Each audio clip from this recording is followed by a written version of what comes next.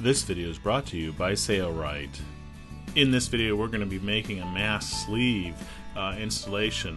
Um, this mast sleeve will also include a boot and it's often used in lasers and Force 5 sails and other similar applications where your mast needs to run up a sleeve. Since this is a sail kit, the sleeve has been cut via the plotter. This is a tapered sleeve that measures approximately 11 inches at the bottom and 9 inches at the top. For most Force 5 and laser sails, it's usually 11 inches at the bottom and 8.5 at the top, and it's a tapered sleeve. Let's get started and show you how to build hold this. it right on line. At the top of the sleeve here, we'll create a 2 inch hem.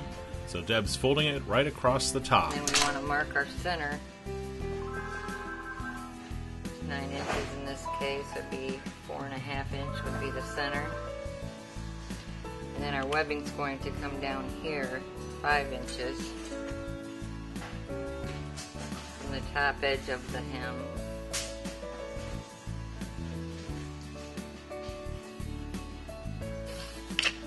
Since this is your center line here, we're using two inch webbing. So it might be a little bit easier just to mark inch outside of that line so you know where your webbing is going to fall when you go to lay it on. Get your two little tick marks here to line up the outer edge because you're not going to see your center mark when your webbing's on it. Bring this one down to the 5 inch.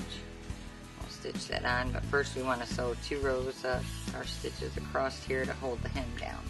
We'll be using the Sailrite Professional Long Arm 4-point sewing machine to sew this entire uh, sail kit. However, you can do it easily with a 2-point zigzag, whether it be an Ultrafeed or sometimes even a home sewing machine. A standard zigzag for sails is typically a 3 16 inch width and a 3 16 inch length. So your stitches, if you're using a 2 point zigzag, will be much smaller than what you see here in the video. The advantage to a four point uh, zigzag is that you can do one row, oftentimes down seams instead of two. We're going to use double sided tape or seam stick to hold the webbing in place prior to sewing so it doesn't move on us. And Deb's going to put two rows of this double sided tape down.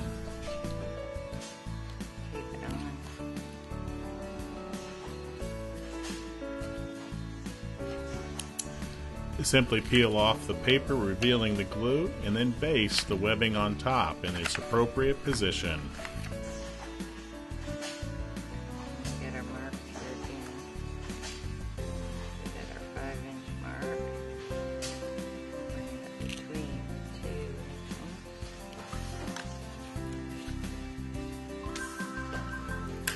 Okay, so we've got the hem made here, same hem at the uh, bottom, and then we're going to run around this with a zigzag stitch to secure that on. Anytime you're sewing a length of stitches, you should do some reversing at the beginning and the end. Start out like anything else. Go down on one side and back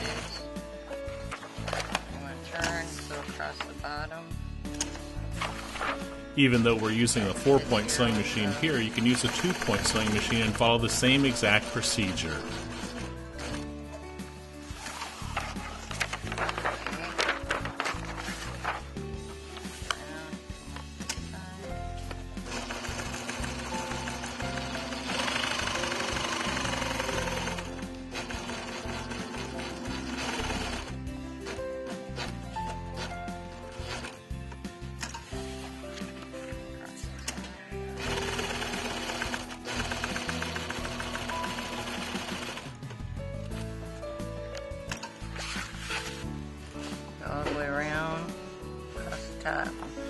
Now we'll fold that material down the center all the way down its length. Okay, so we want to fold our sleeve and crease the center.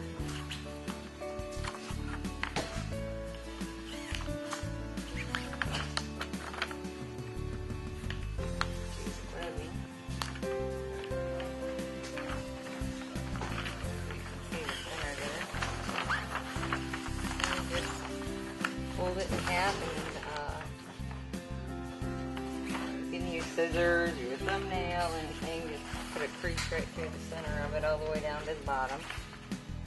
Yeah, I'm running seam stick down the seam line on the edge where the sleeve is marked to, for the sleeve to be put on. And it's, uh, you're going to want to put seam stick on both sides of the sail.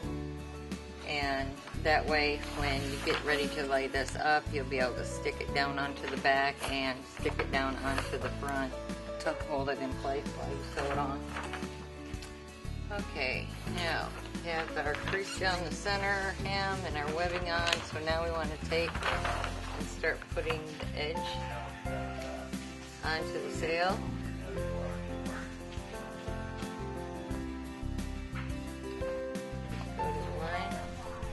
This is a sail kit, and there's a line plotted a half inch away from the left edge. If it's, you don't have a sail kit and you're making a sleeve for an already existing sail, you need to place the sleeve a half inch over the edge. Putting it on the front and then we'll flip it over to the back. Jeff Frank is plotting sails in the background, and what you're hearing is the vacuum noise of the plotter sucking down the fabric to the plotting and cutting table. We apologize for that.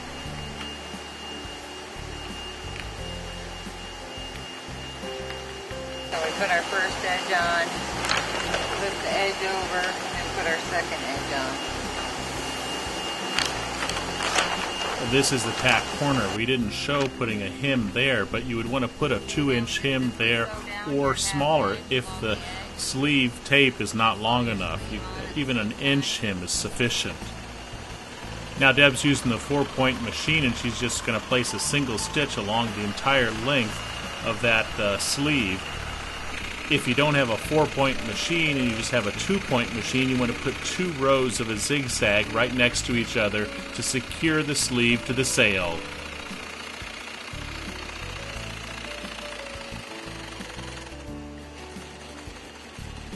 And Deb is now backstitching when she gets to the end of the stitch, just to lock everything in place.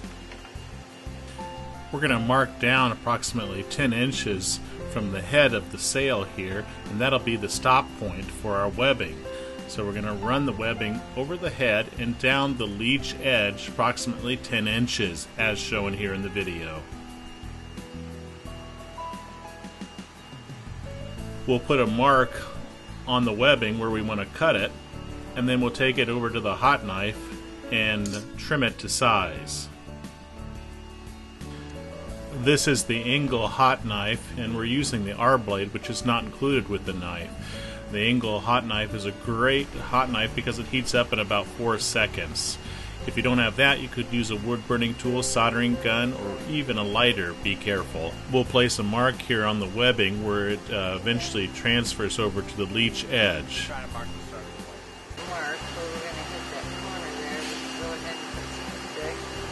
Again, we'll use the double-sided tape to base this webbing in place so that we can take it over the sewing machine and nothing will move on us while we're sewing it.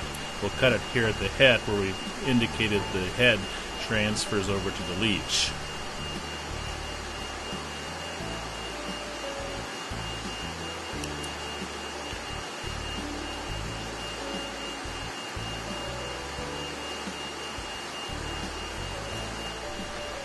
Once that's done, then carefully base the webbing to the leech edge, folding it down the center and butting it up against the side of the sail as closely as possible.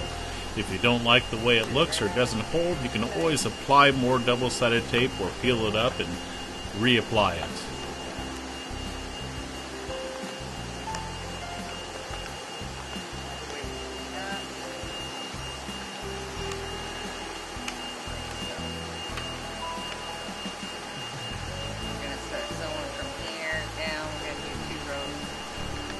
We'll now take it over the sewing machine and we'll do two rows of stitches in the webbing, reversing at the beginning and the end. Again, we're using the four point machine, but you can do this with the standard two point zigzag machine as well. We'll stop right at the head. We'll not go any further than at the head where the Dacron stops.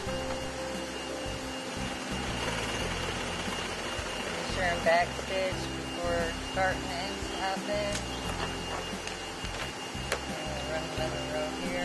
Again, we apologize for the plotter vacuum noise in the background. Backstitch at the beginning. Go right on up to the sail.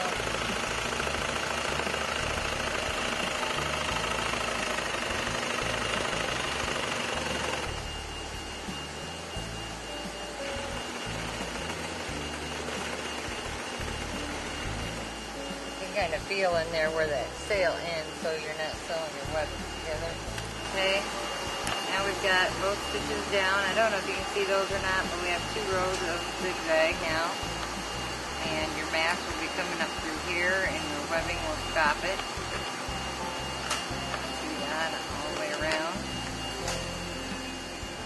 The mast sleeve installation is now done to this sail. That's all there is to it. I'm Eric Grant with Sailrite. Thanks for watching this video. Bye bye.